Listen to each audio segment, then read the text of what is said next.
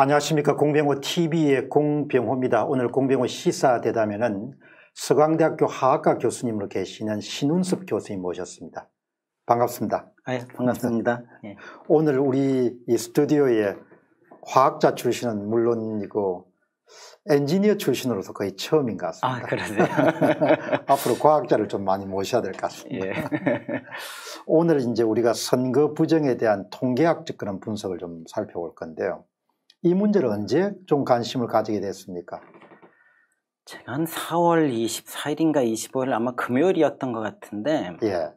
저는 뭐 선거 끝나고 전혀 신경을 안 쓰고 지냈는데 같은 학교의 다른 학과 아는 교수님이 제 사무실을 찾아와서 이게 문제가 있는 것 같다고 얘기를 해주시면서 관심 가져달라는 말씀을 해주셨어요. 그분은 무슨 과 출신? 전자공학과 계신 분. 전자공학과 예, 예. 상당히 이 성각자네요. 예, 그래서 그래서 어 이게 그런 게 다 있냐 그래서 제가 금요일부터 금, 토, 일, 한 월요일까지 열심히 내용들을 살펴보고 뒤져보고 음. 제가 그러면서 어 이건 문제가 있다 하는 결론을 내리고 그러면서 이렇게 여러 가지 이제 액션을 취하기 시작했죠. 저도. 그럼 이제 화학자 눈으로 볼 때 그 처음에 직관적으로 어떤 부분에 대해서 좀 주목을 했습니까? 예, 저는 이따가도 나오겠지만 제가 제일 먼저 주목하고 그분이 저한테 보여주신 데이터는 서울 지역의 어떤 사전 투표와 당일 투표의 차이가 너무나 획일적으로 균일하게 나온 그 부분 가지고 얘기를 해주셨죠. 그래서 저도 그걸 보니까 그것 자체도 이상하더라 그러면서 이제 네. 딴 것들도 다 보기 시작했죠. 그러니까 통계적으로 뭐 꼭 훈련을 안 받더라도 데이터를 만져본 사람들은 딱 데이터를 보면은 그냥 바로 직관적으로 아 이게 좀 이상하다 이렇게 느끼죠. 예, 뭐 통계적인 것보다도 그냥 저희들은 실험을 하는 사람들이기 때문에 자료들을 보게 되면 이게 제일 먼저 점검을 한 것은 그 데이터를 그대로 믿는 게 아니라 정말 그 데이터가 맞는 건지 음. 왜냐면 이미 가공된 데이터를 제가 봤기 때문에 그래서 바닥까지 들어가서 정말 그 데이터가 맞는지 찾아보는 작업을 하고 데이터가 맞다 그러니까 이거 좀 이상하다 하는 데까지 결론이 갈 수가 있었던 거죠. 그 그런 훈련이 아주 돼 있기 때문에 대부분 그런 통계나 데이터 같은 걸 보시게 되면 상당히 좀 예리하게 보이시겠네. 어떻게 보게 되면 과학자들이 하는 일이 그런 일이죠. 뭐냐면 실험을 디자인해서 진행을 하고 결과물이 나왔을 때 이게 제대로 됐나 안 됐나를 평가해서 아 이거 잘못됐네 다시 해보자. 어 의미가 있네 그럼 이렇게 가보자. 그거가 저희들이 맨날 하는 일이잖아요. 음. 그러니까 그런 부분에 있어서는 저희들이 어떤 것들이 오더라도 그런 관점에서 쳐다볼 수 있는 훈련들은 돼 있죠. 그럼 실험 조작이나 지금 여기 예. 나온 것처럼 선거 조작이 뭐 꼭 같은 거지 않습니까? 거의 예, 저, 저도 데이터가 나오는 거니까 그렇죠. 한쪽은 뭐, 실험해가 데이터가 나오는 거고 예. 한 사람 투표해가지고 데이터가 나오는 거니까 그죠? 예, 비슷한 부분이 많이 있고 또 약간 다른 부분들도 있는 것 같아요. 음. 그러니까 법적인 부분들이 훨씬 더 많이 선거 쪽에 있지만 실험한 것들은 어떤 양심적인 거, 다음에 어떤 트루스에 대한 것, 진실에 대한 것들이 더 중요하게 나타나는 부분들이 있고요. 그럼 지금 이 문제에 대해서 조금 더 부가적으로 설명해 주실 게 있- 있으시죠? 네, 그렇습니다. 음, 한번 말씀해 보시죠. 예, 예. 하고 싶은 이야기는 다 하셔도 되니까 여기는 예, 어, 어. 예. 뭐, 뭐, 아무 때나 저기 예. 같이 대화 나눠주시면 고맙겠습니다. 저는 21대 총선이 무효이고, 21대 국회 개원도 무효이고요. 그렇기 때문에 거기서 논의되어 결정되는 어떠한 법- 법안도 정당성이 없고 아무런 의미가 없는 무효 법안이라고 저는 판단을 합니다. 그럼 실험이 잘못되면 그 실험을 다시 하죠. 그렇죠. 다시 하죠. 그리고선 그 잘못된 데이터 가지고선 우리 어떤 결과 안 내잖아요. 그렇죠, 당연하게. 결론 안 내죠. 네. 예. 그러면 꼭 가, 꼭 예, 가네요. 예, 예, 예, 그렇죠. 당연- 선거를 했는데 예, 선거 결과 심하게 오염이 됐다. 예. 그럼 그걸 다시 선거를 해야 되는 거죠. 다시 선거를 해야죠. 그 말씀을 지금 하시는 네, 거죠. 그렇습니다. 예. 또 예. 해보시죠. 예, 제가 지난 5월 31일 아침에 공 박사님께 이 부분 내용을 써서 보냈는데 바로 그날 방송을 하셨어요. 예. 제가 과학자들은 실험이 잘못된 것이나 데이터가 잘못된 것을 가지고 그 다음 스텝을 나가지 않습니다. 너무나 당연한 예. 당연하죠. 왜냐하면 과학이라고 하는 것은 사실 팩트에 기초해서 거기에 하나씩 하나씩 쌓아가는 학문이기 때문이잖아요. 근데 사실 처음에 아무것도 모를 때는 여러 가지 에러들을 할 수가 있어요. 예. 그렇지만 여러 가지 trial and error 속에서 시행착오 속에서 뭔가 힌트를 찾은 다음부터는 아주 정밀하게 하나씩 체크하면서 사실 위에 쌓아가야지 중요한 발견을 할 수 있는 거거든요. 그러니까 과학 하시는 분은 뭐 봐주고 이런 게 없겠네요. 그렇죠. 왜냐하면 사실은 사실이고 아, 아니면 100, 100명이 맞다고 그래도 사실이 아닌 건 아닌 거예요. 네. 그렇잖아요. 맞습니다. 예. 그거는 뭐 과반수라든지 무슨 뭐 다수결의 문제가 다수결의 문제가 아니에요. 아닙니다. 그거는. 그런데 과학에 있어서도 가짜 혹은 검증되지 않은 데이터를 가지고 발표된 논문들이 있어요. 그런 경우들은 다시 검토해보고 재현성, reproducibility라고 하거든요. 재현성이 없거나 혹은 데이터를 만드는 과정이 객관적으로 증명이 되지 않고 딴 사람들이 입증해 주지 아- 못하게 되면 그 발표된 논문은 취소됩니다. 그렇게 네이처지 같은 데서 취소도 하고 그럼요. 네이처지, 사이언스지 취- 취소합니다. 그렇게 좋은 논문에서도. 음, 아주 이렇게 좀 과학에서도 가짜 데이터를 가지고 발표된 논문을 다시 검토하여 없거나 데이터를 만드는 과정이 객관적 입증자인 경우는 발표된 논문이 취소된다. 예. 우리 선거에서도 상당히 시사하는 바가 크네요. 예. 우리나라에서 이런 일들도 있었고 전 세계적으로도 많이 있고요. 그다음에 현재도 많이 있습니다. 저는 사람들하고 이번 총선 얘기를 하게 될 때 세상에 그런 일이 이번 이 지금 같은 시대 아닙니다. 지금 더하면 더하지 못하진 않고요. 그렇게 사람들이 그, 그러니까 그 그런 걸 지금 말씀 신 교수님 예. 말씀하시니까 어, 그런 일이 절대 없다라고 하잖아요. 일어날 수 없다.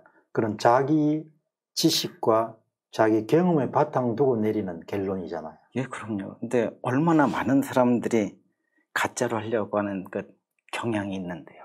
동기가 있고. 그럼요. 음.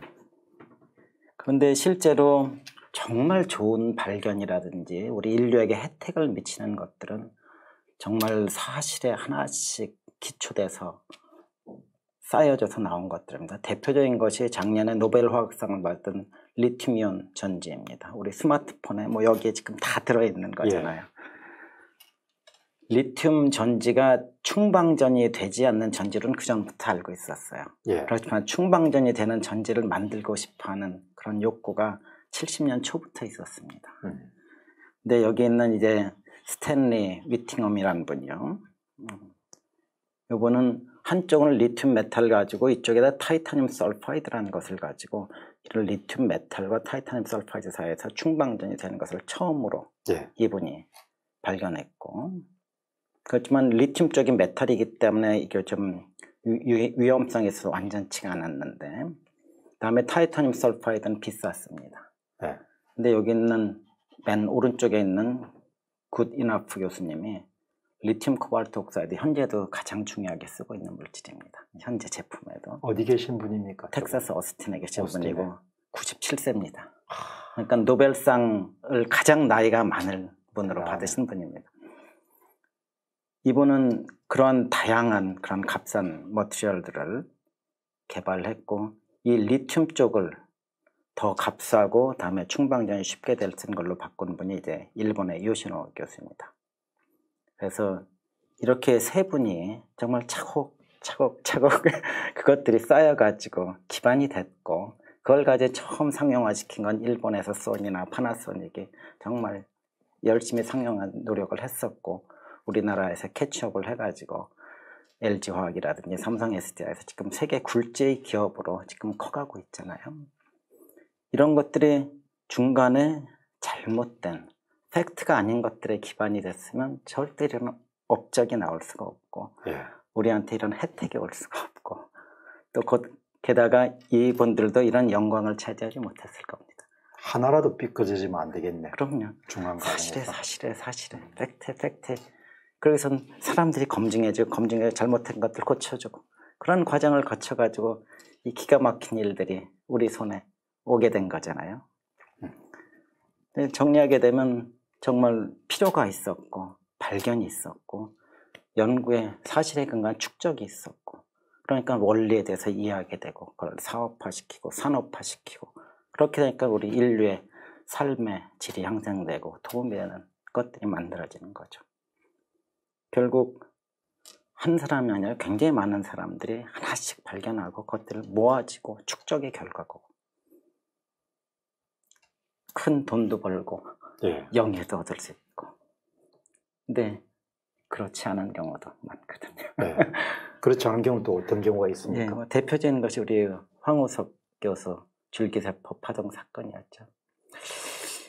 이 당시에 서울대 수의대 교수였던 황우석 교수님은 그러니까 체세포 일반적으로 어떤 남성 여성 혹은 암수 사이에서 생식이 돼가지고 세포들이 만들어지고 거기서 자라게 되는데 그냥 한쪽에서만 떼가지고 체세포에서 분열시킬 수 있다는 것들을 동물에서 실험을 열심히 잘하시는 분이에요. 그래서 그걸로 뭐 복제 개도 만들고 여러 가지 다 정말 유명하신 분인데 그분이 사람에게도 그렇게 할 수 있다.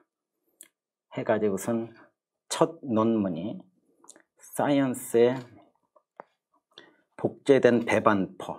배반포는 뭐냐면 이렇게 처음에 하나가 분열돼가지고 몇 개 분열되지 않은 그 상태의 세포에서 어떤 여러 가지 기능을 할 수 있는 줄기세포를 만들 수 있다. 2004년에 발표한 논문입니다. 아니 센세이션을 했죠. 그 당시 뭐 기억하실 겁니다. 정말 우리나라 사회에서 큰 희망을 주고 다음에 이- 이거가 되게 되면 노벨상도 받을 수 있어요. 아마 노벨상 프로젝트도 있었어요. 그 다음에 국가과학자도 되고요. 그 다음에 사람들이 희망도 가졌어요. 이렇게 되게 되면 치료받을 수 있고 안진병에도 일어날 수가 있고. 그러니까 이분은 이제 황 교수님 같은 경우는 동물 분야에서 꼭 같은 그런 방법을 사람에게 적용하시고. 인체에 적용한 그게 큰, 예. 큰 어떤 예, 예. 그거네. 그러니까 사이언스에 처음으로 세계 최초였거든요. 그런 다음에 바로 다음에 이어가지고 이제는 단순한 배반포가 아니라 다양한 사람들마다 다른 것들을 12개를 해가지고 사람마다 다르게 된다. 그러니까 환자 맞춤형으로 이것들을 다룰 수 있다 한 것이 두 번째 사이언스 논문입니다. 더 얘기를 진행하기 전에 여기 저자에서 유영준이라는 분을 좀 기억해 주시고 지금 황우석 교수가 맨 앞에 있잖아요. 일반적으로 그런 교수님이 맨 앞에 오게 되면 두 번째 온 사람이 가장 중요한 일을 한 사람입니다. 혹은 지- 많은 경우 교수님들은 뒤로 가서 스타만 붙이고 이제 first author로 제일 일을 열심히 한 사람이 앞으로 오게 됩니다. 뒤에서 말씀드리겠지만 이 유영준이라는 분이 이 문제점을 처음 제기했던 사람입니다. 근데 이렇게 두 번째 논문이 나오고, 그러니까 두 논문이 나오고 그 다음 논문이 나온 것이 지금 2005년 5월이었는데 2006년 1월에 이게 다 논문이 취소가 됐습니다. 그런데 두 번째 논문만이 아니라 그 앞에 논문까지. 지금 현재 사이언스 논문에는 웹사이트를 들어가면 그대로 다 다운로드실 수가 있습니다. 제가 이번 주에 다 내려받은 것들이거든요. 그러니까 첫 번째는 사람들이 몰랐고 두 번째도 몰랐고 그 다음에 이것에 대한 문제들이 알게 됐을 때 쭉 따져보니까 두 번째 논문도 문제가 있었고 첫 번째도 문제가 있었다는 얘기예요. 그런데 거기에서 사이언스 편집장이 서울대에다가 조사를 하시오 의뢰가 갔어요. 그러니까 왜냐하면 서울대에서도 책임이 있으니까요. 그래서 서울대에서 조사위원회를 열어가지고선 그쪽에서 리포트를 보냈어요. 첫 번째 연구 위법 행위가 있었고 데이터 조작이 두 편에 다 포함되어 있다. 서울대 조사위원회에서 예, 예. 그래서 사이언스 편집장도 받아들이고 황우석 교수도 인정하고 그래가지고선 본인이 처리하지 않고 사이언스 쪽에서 아예 게재 취소를 이렇게 해버린 그런 상황입니다. 큰 사건이야. 예, 예, 그럼요. 근데 만일 서울대학교 조사위원회에서 제대로 그때 조사하지 하지 않았다면 어떤 일이 났을까요? 그러면 뭐 국제적인 국제적인 망신이 되는 네. 거죠. 그러면 이제 외부에서 와서 조사를 하고 이제 서울대도 망신이 네, 됐겠죠. 완전히 엉망이 됐죠. 예, 엉망이 됐겠죠. 근데 이제 서울대 조사위원회에서 그 선에서 마무리가 되고 다음에 사이언스 쪽에서 그것들을 받아들인 상황입니다. 그래서 이 조작 사건 일지가 동아 사이언스에 나온 것들을 제가 따가지고선 거기에서 이제 중요한 부분들만 정돈을 해봤는데 2004년 2월에 첫 번째 사이언스 논문이 나왔고 2005년 5월에 두 번째 사이언스 논문이 나왔는데 내부 제보가 바로 6월 달에 PD 수첩 쪽에 있었어요. 그건 이제 위험성에 대해서 조작에 대한 것이 아니고 근데 이제 PD 수첩에서 이제 그런 문제만 다루다가 오히려 PD 수첩에 오히려 거꾸로 당했어요. 사람들이 이런 사람을 왜 너네들이 그러냐 해가지고선 그런 것들이 왔다 갔다 하고 오히려 드러나지가 않고 드러내려는 사람들이 엄청나게 힘든 기간들이 있었고요. 그러니까 그게 5월, 6월 일인데 지금은 똑같네. 예. 12월이 돼가지고 한참 지난 거예요. 이제 그런 논란들이 있는 것들은 사람들은 알았어요.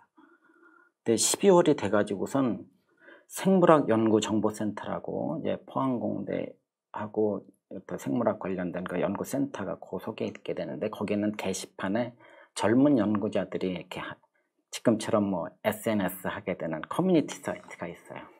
지금도 들어가 보면 그때 왔다 갔다 한 내용들을 그대로 다운받을 수가 있어요. 오간 내용이 예. 그때 지울 수가 없구나. 예, 지울 수가 없죠. 왜냐면 팩트니까요. 음. 거기 게시판에 줄기세포가 그 데이터가 조작됐 다 하는 얘기가 나와요. 그게 어떻게 나오냐면 지금 제가 이것도 이번 주에 다운받은 내용인데 거기 들어가 가지고 이제 어노니모 여기 어노니머스라는 친구가 자기 이름은 밝히지 않았는데 거기 보면 2005년 12월 5일 아침 5시 28분이잖아요. 그죠? 그러면서 그 앞에는 아니 뭐 사이언스가 어떤 잡지인데 그러면서 맨 끝에 가가지고는 그 논문 보니까 거기 한번 조각 그림 찾기 좀 해봐라. 11쪽 12쪽에 똑같은 그림 두 장 있다. 찾아봐라. 그걸 올린 거예요. 젊은 친구죠. 그런데 5시 28분인데 한 친구가 쭉 보다가 5시 57분이잖아요. 어? 정말 두 개가 비슷한 게 있네. 새벽이에요, 새벽. 얘네들이 밤을 샜는지 일찍 일어났는지. 그 다음에 그 밑에 댓글에도 와우, 뭐 이게 사실인가요? 정말 그쪽 이쪽 팀의 데이터는 믿을 수가 없는 그런 것들이 올려놔서 제가 여기 있는 내용들의 이 그림을 지금도 가면 바- 다운 받을 수가 있어요. 그래서 그거를 다운 받아왔어요. 그러니까 결국은 특정 기관이 아니고 집단 지성이 작동한 거네. 그럼요. 그리고 젊은 사람들이. 지금 보셔도 여- 저기 공 박사님들 보시면 압니다. 지금 얘기한 것이 여기 제가 빨간색을 표시한 이거하고 이겁니다. 예, 똑같잖아요. 예. 조금 조금 확대만 됐다 뿐이지. 그러니까 12명의 다른 세포에서 이런저런 조건에서 측정한 사진이라고 하면서 한 건데 지금 그것이 지금 같은 그림이 있는 거예요. 한번 정리해 주시죠. 예. 그러니까 리뷰어들 유명한 사람들이 다 했는데 못 지나간 것들을 이것들 이제 찾, 찾은 거죠. 근데 조금 하나 더 말씀드리고 싶은 예. 것은 여기 지금 6월 1일 6월 초에 아까 얘기했던 그 두 번째 논문 저자인 사람이 제보를 하고 나서 8년이 지나가지고 인터뷰한 내용입니다. 8년 만에 자기가 이걸 제보한 이유. 최초 제보자 유영준 교수는 이제 강원대 의대 병력과 교수가 됐고요. 8년 동안 자신의 실체를 대중에게 감추고 살아야 했습니다. 그렇지만 본인은 제보자의 삶을 후회해 본 적이 없다고 했고, 그러면서 그 저분이 인터뷰 때 한 얘기는 지금 이 일을 나게 한 것은 처음에 분노였다. 10살 전신마비 소년에게 줄기세포를 주립한다는 얘기를 전해드는 순간 눈앞이 아찔했다. 목숨을 담보로 한 무모한 시도였다. 사실을 알리겠다고 하자 아내는 사안이 너무 커 감당하지 못할 것이라고 만류했다. 망설이던, 망설이던 그는 자신에게 닥칠 불이익과 피해를 하나하나 적어나갔다. 의사로서의 삶을 포기해야 할 수도 있었다. 왜 나인가며 도망치고 싶었다. 그러나 침묵의 대가로 짊어져야 할 평생의 죄책감을 감당할 자신이 없었다. 소년의 배에서 체세포를 뗀 것은 바로 그였다. 그를 대신해 재앙을 막아줄 사람은 없었다. 그래서 절박했다. 2005년 6월 1일 선택의 순간이 왔다. 원자력 병원 레지던트 1년차였던 이 류영준 교수는 그 당시 한 방송사 게시판에 글을 띄웠다. 그래서 제보자가 됐다. 그러나 그 이후에 그가 본 것은 대중의 광기였다. 지식인도 정치인도 언론도 그의 말을 고지 들으려 하지 않았다. 자신의 상식을 과거를 부정할 수 없으니 의심이 되는 아닌 그를 의심했다. 그렇지만 쭉 가가지고 결국 언제는가 그러니까 진실이 밝혀졌고 그 결과로 이런 일들이 진행됐습니다. 네. 어떻든 지금 여기도 보면은 뭐 이제 그런 사람들이 진실 앞에 솔직해지지 못하는 그런 부분들이 그럼요. 있는 있는 네. 우리는 이제 뭐 이렇게 연구하면서도 항상 그렇게 어떤 시, 그 본질적인 실체적 진실이나 이런 걸 파악하는 부분에 약간 타고난 그런 열망이나 이런 게 있는데 그건 이제 많은 사람들 보니까 그냥 자기의 통념, 예. 고정관념, 자기의 지식, 예. 경험에 바탕을 두고 그냥 뭐 선거 부정 없다. 예. 이런 그, 그 의심을 안 해보는 것 같아요. 그게 어떻게 그런 일이 있냐. 예. 근데 사실 경험이 중요하죠. 경험이 있으니까 하는데 자기의 경험만 의지하지 말고 경험을 중심으로 자꾸 오픈 마인드에 가서 들어야죠. 그래서 정말 이게 정말 그런지를 쳐다보고 그래야 되는 부분들. 근데 뭐 이번 이 사건도 한국의 사회로 총선에 대해서 주는 메시지가 아주 뚜렷하지 않습니까? 네, 저도 이걸 보면서 너무나 너무나 그냥 데자뷰 같다는 느낌. 지금도 보면 네. 뭐 굉장히 이렇게 그 의심하는 사람 자체를 굉장히 공격하는 경우가 많잖아요. 그럼요. 예. 그 의심할 수 있잖아요. 그럼 의심할 수 있죠. 모든 게 의심에 출발하니까. 예, 예. 그 의심하는 사람들이 100% 자기가 옳다는 이야기를 하는 게 아니고. 그럼요. 검증해 보면 되는 거죠. 예. 예. 그러니까 아, 우리 안에 참 이렇게 약간의 그 파시오적인 그런 생각이나 이런 부분이 많구나. 강하구나. 젊은 사람들보다 조금 더 심하구나 이런 생각이 들거든요. 정말 저기 있는 것처럼 약간의 어떤 군중 심리가 참 큰 것 같아요. 뭐냐면 사실을 본다기보다도 전체적으로 이렇게 끌려가는 거 혹은 우리 집단에서 생각하는 거 그것들이 앞서기 시작하면 사실을 자꾸 안 보게 되는 것 같아요. 덮어버리고. 근데 이제 이번에도 보면은 이제 가장 큰 이해 당사자가 야당이지 않습니까? 그렇죠. 근데 야당의 뭐 책임 있는 사람들로부터 당신이 갖고 있는 생각을 한번 설명해 달라 이런 거를 그, 어, 그 요청받은 적이 없거든요. 내가 나서서 사람들을 불러가지고 설명한 건 있어도. 그러니까 좀 뭐라고 할까. 지적인 면에서 상당히 문제가 많구나. 결론은 뭐 자기 원하는 대로 내리더라도 뭔가 지도자가 되면은 빠른 시간 안에 그런 사실을 아는 게 중요하잖아요. 그 다음에 이제 결론은 자기들이 또 다른 정치적 목적에 따라 다르게 내릴 수 있지만 그 옛날에 보니까 그 윈스턴 처칠 같은 사람이 이제 루즈벨트가 2차 세계대전 때 참전시키기 위해 가지고 루즈벨트를 만나는데 그 옥스포드 대학 교수들이나 이런 사람 불러가 자꾸 이야기를 예, 듣더라고요. 예, 들어야죠. 너무나 당연하죠. 중요하지 않습니까? 예. 그 사람이 갖고 있는 지식이나 경험을 예. 사는 거니까 그런 게 없는 걸 보고 아 이게 정말 이, 이 당시도 일시적으로 그랬죠. 저는 그 사람들이 일시적으로 그렇다고 봐요. 저는 평생 그럴 수 있을 거라고 생각하지는 못해요. 이와 같이 조그마한 진실이 드러나가지고 그것들이 이제 퍼지기 시작하게 되면 그냥 다 무너지는, 무너지는 거죠. 거죠. 그, 그렇지 않은 것들. 허위하고 거짓이. 예. 이거는 뭐 아까 말씀드렸지 뭐 과관수, 뭐 1대 100, 뭐 다수결의 문제가 아니거든요.